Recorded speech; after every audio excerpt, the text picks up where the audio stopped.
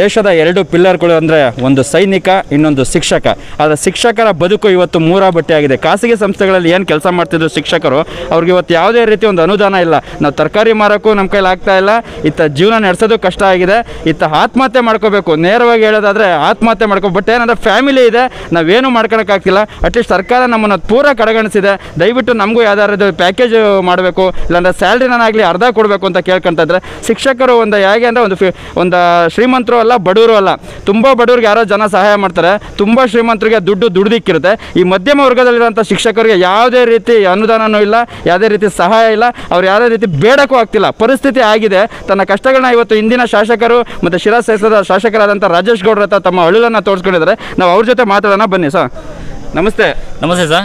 ಈಗ ನೀವು ಹೇಗೆ ಆಗಿದ್ದೀರಾ ಅಂದ್ರೆ ಫಿಫ್ಟಿ ಪರ್ಸೆಂಟ್ ಅಲ್ಲಿ ಇದ್ದೀರಾ? ಹೌದು. ಬಡ ಬ್ರಾಹ್ಮಣ್ ಶ್ರೀಮಂತರು ಅಲ್ಲ ಇದು ಬಡವರು ಅಲ್ಲ. ನಿಮ್ ಕಷ್ಟ ಯಾರ ಹತ್ರ ಹೇಳ್ಕೊಳಕ್ಕೂ ಹೋಗ್ತಿಲ್ಲ ಹೌದು, ಖಂಡಿತ ಸರ್. ಕಷ್ಟ? ಸರ್ ಈಗ ಆಲೇ ಕೋವಿಡ್ ಬಂದ್ಬಿಟ್ಟು ಹದಿನಾಲ್ಕು ತಿಂಗಳಾಯ್ತು. ಒಂದೂವರೆ ವರ್ಷ ಆಯ್ತು ಸರ್. ಸೊ ಈಗ ಹೋದ ಸರಿ ಒಂದು ಬಜೆಟಲ್ಲೂ ಒಂದು ಪ್ಯಾಕೇಜಲ್ಲೂ ಸಹ ಪ್ರತಿಯೊಂದು ವರ್ಗಕ್ಕೂ ಘೋಷಣೆ ಮಾಡಿದ್ದಾರೆ. ಈ ಒಂದು ಬಜೆಟಲ್ಲೂ ಸಹ ಪ್ರತಿಯೊಂದು ವರ್ಗಕ್ಕೂ ಸಹ ಘೋಷಣೆ ಮಾಡಿದ್ದಾರೆ.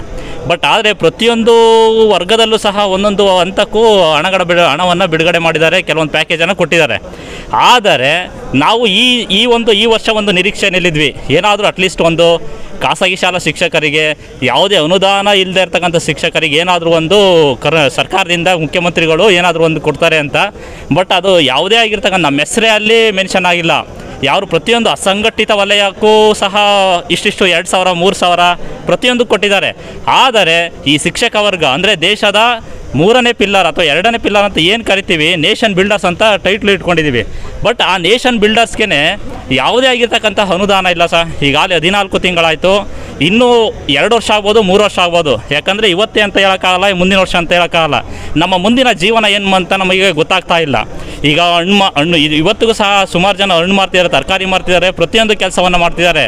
ಆದರೆ ನಾವು ಇವತ್ತು ಎಲ್ಲರಿಂದ ನಮಸ್ತೆ ನಮಸ್ತೆ ಅನ್ನಿಸ್ಕೊಂಡು ಈಗ ಅಂತ ಮಟ್ಟಕ್ಕೆ ಹೋಗೋಕ್ಕಾಗಲ್ಲ. ಈಗ ಹೋದ್ರೂ ಏನು ಸರ್ ಅಂತ ಕೇಳ್ತಾರೆ, ನಾವೇನು ಮಾಡೋಕ್ಕಾಗಲ್ಲ. ಅದಕ್ಕೋಸ್ಕರ ಇವತ್ತು ಎಷ್ಟೋ ಹಳ್ಳಿಯಿಂದ ಬಂದು, ಟೌನಿಗೆ ಬಂದು ಶಾಲೆಗಳನ್ನ ನೆಚ್ಕೊಂಡು, ಹೆಂಡ್ತಿ ಮಕ್ಕಳು ತಾಯಿ, ತಂದೆ ಮನೆ ಬಾಡಿಗೆ ಕಟ್ಕೊಂಡು ವಾಟ್ರ್ ಬಿಲ್ ಕಟ್ಕೊಂಡು ಗ್ಯಾಸ್ ಬಿಲ್ ಕಟ್ಕೊಂಡು ಇವತ್ತು ಜೀವನ ಮಾಡ್ತಿದ್ದೀವಿ. ಸೊ ಯಾವುದೋ ಮೂಲೆಯಿಂದ ಸೊ ಏನೋ ಅಷ್ಟ ಅಲ್ಪ ಸ್ವಲ್ಪ ಕೆಲಸ. ಇವತ್ತು ಆ ಕೆಲಸನೂ ಇಲ್ದಂಗೆ ಆಗಿದೆ ನಮಗೆ. ಯಾವುದೇ ಆಗಿರ್ತಕ್ಕಂಥ ತೀರಾ ನಿರ್ಗತಿಗರಾಗಿದೆ ಸರ್ ಯಾಕಂದ್ರೆ ಇವತ್ತು ಪೇಪರ್ ಆಯೋರು ಪೇಪರ್ ಆಯ್ದು ಜೀವನ ಮಾಡ್ತಾರೆ. ಇವತ್ತು ಪ್ರತಿಯೊಂದು ಆಗಲಿ, ಪ್ರತಿಯೊಂದು ಕೆಲಸಕ್ಕೂ ಒಂದೊಂದು ಆದ್ಯತೆ ಇದೆ. ಬಟ್ ಈ ಶಿಕ್ಷಕರಿಗೆ ಯಾವುದೂ ಇಲ್ಲ. ಇವತ್ತು ಏನು ಮಾಡಬೇಕು ಸರ್ ನಮ್ಮ ಗತಿ ಏನು ನಮ್ಮ ಮಕ್ಕಳು ನಮ್ಮ ಮಕ್ಕಳ ಗತಿ ಏನು ನಮ್ಮ ಮಕ್ಕಳ ವಿದ್ಯಾಭ್ಯಾಸ ಏನು ಮಾಡಬೇಕು? ನಮ್ಮ ಅಪ್ಪ ಅಮ್ಮಗಳ ಸ್ಥಿತಿಗತಿ ಏನು ನಮ್ಮ ನೋವು ಯಾರು ಹೇಳ್ತಾರೆ? ನಾವು ಯಾರ ಹತ್ರ ಹೇಳ್ಕೋಬೇಕು ಹೇಳಿ? ಯಾಕಂದರೆ ಈ ದೇಶದ ಬೆನ್ನೆಲುಬು ಆ್ಯಕ್ಚುಲಿ ನಾವು ರೈತರು ಬಿಟ್ಟರೆ ನಾವೇ ನೆಕ್ಸ್ಟು ಯಾಕಂದ್ರೆ ದೇಶವನ್ನು ಕಟ್ಟಿ ನಾಗರಿಕರನ್ನಾಗಿ ಮಾಡ್ತಕ್ಕಂಥದ್ದು ಶಿಕ್ಷಕರು. ಅಂಥ ಶಿಕ್ಷಕರಿಗೆ ಇವತ್ತು ಅನ್ಯಾಯ ಆಗ್ತಾ ಇದ್ರೆ ನಾವೆಲ್ಲಿ ಹೋಗಬೇಕು? ಯಾರನ್ನು ಕೇಳ್ಕೋಬೇಕು. ದಯವಿಟ್ಟು ನಾನಿವತ್ತು ಮನವಿ ಮಾಡ್ಕೊಳ್ಳೋದೇನೆಂದರೆ ಮುಖ್ಯಮಂತ್ರಿಗಳ ಹತ್ರ. ಸೊ ದಯವಿಟ್ಟು ಇವತ್ತಿಂದ ನೀವೇನು ಮಾಡ್ತಿರೋ ಗೊತ್ತಿಲ್ಲ. ಕರ್ನಾಟಕ ರಾಜ್ಯದಲ್ಲಿರ್ತಕ್ಕಂತಹ ಅನುದಾನ ರಹಿತ ಖಾಸಗಿ ಶಾಲೆಯ ಶಿಕ್, ಶಾಲೆಯಲ್ಲಿ ವರ್ಕ್ ಮಾಡ್ತಕ್ಕಂತಹ ಟೀಚರ್ಸ್ಗೆ ನೀವೇನಾದರೂ ಒಂದು ಪರಿಹಾರವನ್ನು ಘೋಷಣೆ ಮಾಡಲೇಬೇಕು. ಖಂಡಿತವಾಗಿಯೂ. ಇಲ್ಲ ಅಂದರೆ ಸೊ, ಮುಂದೆ ಹಾಕ್ತಕ್ಕಂಥದ್ದು ಎಲ್ಲ ನಾವು ರೊಚ್ಚಿಗೆದ್ದಾಡ್ತಕ್ಕಂತಹ ಸನ್ನಿವೇಶ ಇದೆ. ದಯವಿಟ್ಟು ಮುಖ್ಯಮಂತ್ರಿಗಳಲ್ಲಿ ಒಂದು ಮನವಿ ಮಾಡ್ತೀವಿ.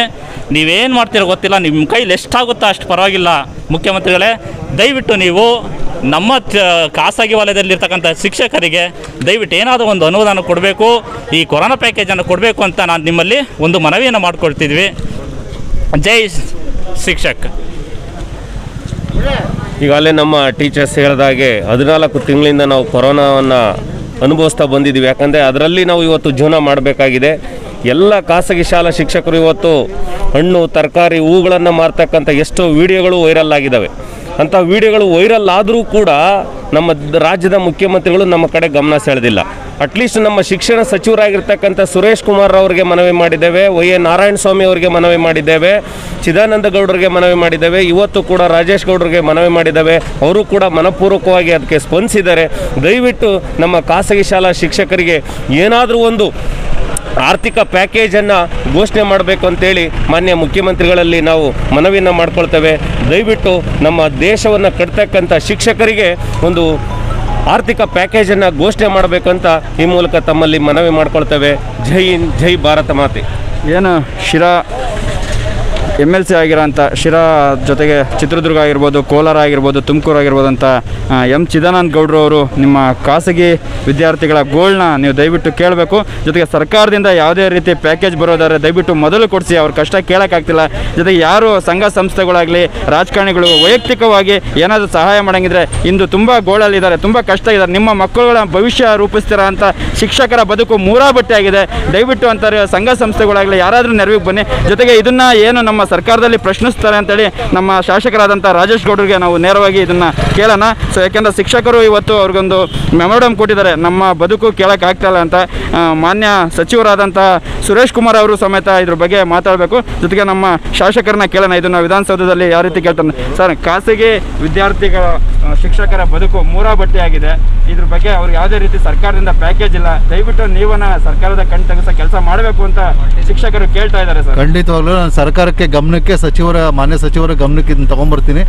ಅವ್ರಿಗೆ ಏನೇನು ಅವ್ರಿಗೆ ಅನುಕೂಲ ಆಗತಕ್ಕಂಥ ನಿಟ್ಟಿನಲ್ಲಿ ಏನೇನು ಕ್ರಮಗಳನ್ನು ಸರ್ಕಾರದಿಂದ ಒದಗಿಸ್ಲಿಕ್ಕೆ ಆಗ್ತದೋ ಸೌಕರ್ಯಗಳನ್ನು ಒದಗಿಸ್ಲಿಕ್ಕೆ ಆಗ್ತದೋ ಅದನ್ನು ಪ್ರಾಮಾಣಿಕವಾಗಿ ನಾನು ಖಂಡಿತವಾಗ್ಲೂ ಮಾಡ್ತೀನಿ. ನಾನು ಥ್ಯಾಂಕ್ ಯು ಇದು ನಮ್ಮ ಶಾ- ಶಾಸಕರ ಮಾತು ಸಿರಾ ಕ್ಷೇತ್ರದ ಶಾಸಕರ ಮಾತು. ಖಂಡಿತ ಇದ್ರ ಬಗ್ಗೆ ನಾನು ಸರ್ಕಾರದ ಜೊತೆ ಮಾತಾಡ್ತೀನಿ ಸಚಿವರ ಜೊತೆ ಖಂಡಿತ ಮಾತಾಡ್ತೀನಿ. ಏನು ನಮ್ಮ ಕೈಲಿ ಆಗುತ್ತೆ ಅದನ್ನು ನಾನು ಕೊಡಿಸ್ಕೊಡ್ತೀನಿ ಅಂತ ಹೇಳಿದ್ದಾರೆ ಜೊತೆಗೆ ಏನು ಎಂ ಎಲ್ ಸಿ ಆಗಿರೋಂಥ ಎಂ ಚಿದಾನಂದ್ ಅವರು ಖಾಸಗಿ ಶಿಕ್ಷಕರ ಬಗ್ಗೆ ಸ್ವಲ್ಪ ಗಮನ ಹರಿಸಿ ಅವ್ರಿಗೆ ಯಾವುದೇ ರೀತಿ ಪ್ಯಾಕೇಜ್ ಕೊಡಬೇಕು ಇಲ್ಲ ನಿಮ್ಮ ಅನುದಾನದಲ್ಲಿ ಕಷ್ಟದಲ್ಲಿರೋಂಥ ಒಂದು ಖಾಸಗಿ ಶಿಕ್ಷಕರಿಗೆ ನೆರವಾಗಬೇಕು ಅಂತ ಈ ಮುಖಾಂತರ ನಾವು ಸಮೇತ ಸಿರಾ ಫಸ್ಟ್ ನ್ಯೂಸಿಂದ ಬೇಡ್ಕೊತಾ ಇದ್ದೀವಿ.